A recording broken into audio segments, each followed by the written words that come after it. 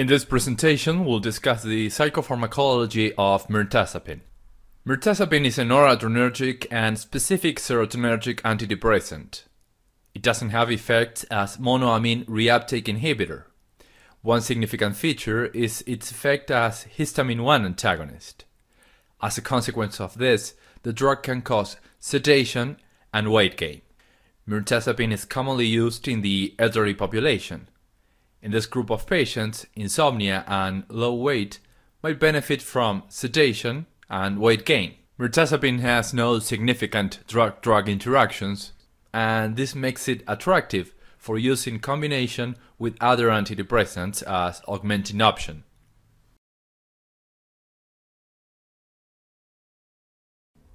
Mirtazapine's pharmacology is different from SSRIs, SNRIs, or tricyclics. What makes it uh, substantially different is the fact that mirtazapine has no monoamine reuptake inhibition properties. However, it is a serotonergic and noradrenergic antidepressant. This is because mirtazapine blocks receptors that modulate release of these neurotransmitters. Regarding its binding profile, mirtazapine is mostly an antagonist. The receptors involved include alpha 2, histamine 1, and the serotonin receptors 5-HT2A, 5-HT2C, and 5-HT3. In the next slides, we'll see how mirtazapine enhances serotonergic and noradrenergic activity through blockade of alpha-2 receptors. As I mentioned, mirtazapine is an alpha-2 antagonist. It blocks alpha-2 autoreceptors in noradrenergic neurons and alpha-2 heteroreceptors in serotonergic neurons. We can see in the image on the left how mirtazapine blocks alpha-2 presynaptic autoreceptors in a noradrenergic neuron. What's the effect of this? Normally, activation of alpha-2 receptor triggers inhibitory signals that reduce norepinephrine release. If this signal is turned off, then the noradrenergic neuron loses its inhibition. This means that when mirtazapine blocks alpha-2 receptors, it blocks the inhibitory signal, which increases norepinephrine release to the synaptic cleft.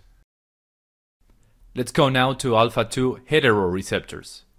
Mirtazapine blocks alpha-2 somatodendritic receptors in serotonergic neurons. Serotonergic neurons are also inhibited by alpha-2 receptors. These are located in the somatodendritic region. As the right picture shows, an important site of serotonergic cell bodies is the dorsal raphe. There are serotonergic projections from the dorsal raphe to the cortex. So, what is the effect of alpha-2 heteroreceptors blockade? Mirtazapine disinhibits serotonergic neurons in the dorsal raphe, leading to increased serotonin release in the cortex.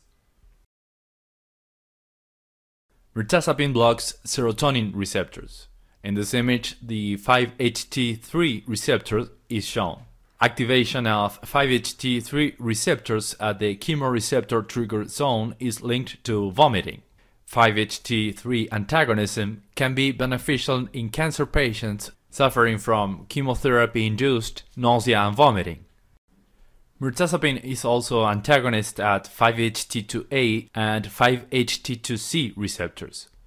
Blockade of 5-HT2C receptors has been linked to antidepressant effects. Mirtazapine was approved by the FDA in 1996 for major depressive disorder in a dosage range going from 15 to 45 milligrams a day. In some European countries, mirtazapine maximum approved dose is of 60 milligrams a day.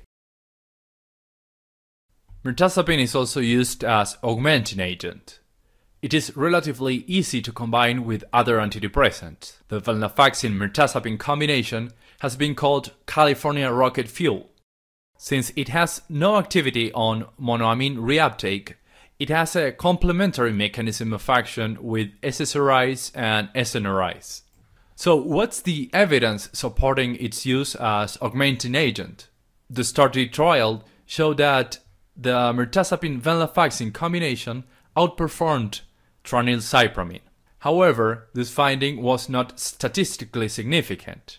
Case series of 32 patients studied the venlafaxine-mirtazapine combination, measuring response rate based on the CGI scale. 44% of patients responded at 4 weeks, while 50% responded at 8 weeks.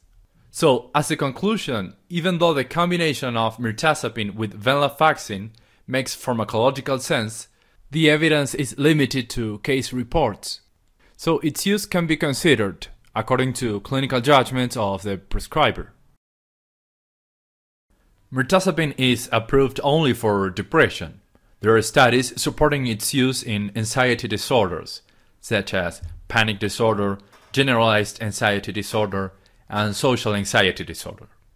Small size randomized controlled trials support the use of mirtazapine as add-on to antipsychotics for the treatment of negative symptoms in schizophrenia. The mechanism of action of antiemetic drugs involves 5-HT3 antagonism.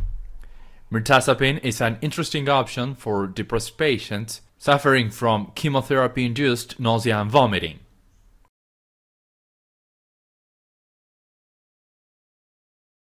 Mirtazapine has a half-life of 20 to 40 hours. It has no active metabolites and it doesn't inhibit significantly any other cytochrome P450 isoenzyme. It is metabolized by three cytochrome P450 isoenzymes 1A2, 2D6, and 3A4. It has no significant drug drug interactions, which makes it attractive for its use in combination with other antidepressants.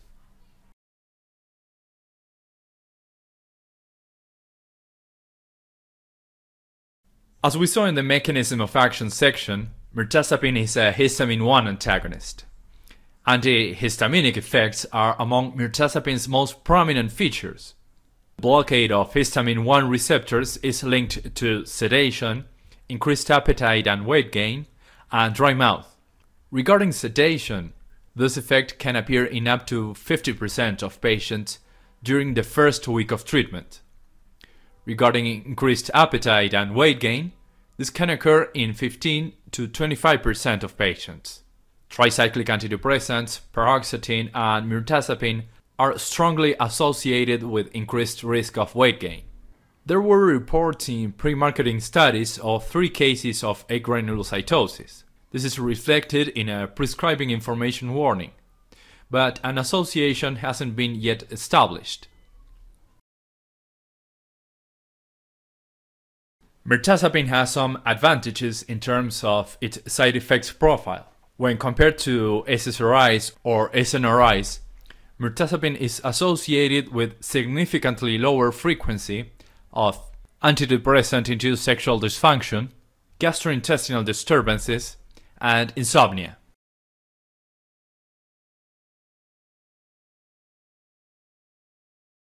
Mirtazapine is available as SCORE tablets and orally disintegrating tablets. SCORE tablets of 15, 30, and 45 milligrams. Orally disintegrating tablets of 15, 30, and 45 milligrams. Mirtazapine's dosage range goes from 15 to 45 milligrams a day. The recommended starting dose is of 15 milligrams a day. Because of mirtazapine's sedative properties, it is given preferably in the evening, prior to sleep. If the patient doesn't respond, the manufacturer recommends uh, dose increases up to a maximum of 45 milligrams a day. These dose changes should not be made at intervals of less than 1 to 2 weeks. The key points for this presentation are the following. Mirtazapine's mechanism of action involves blockade of alpha 2 5-HT2A, 5-HT2C, and 5-HT3 receptors. It is FDA approved for only for depression, but there is evidence of efficacy for anxiety disorders and negative symptoms of schizophrenia. It can be used as augmenting agent in combination with venlafaxine. Prominent side effects include sedation and weight gain, and it is dosed between 15 and 45 milligrams a day.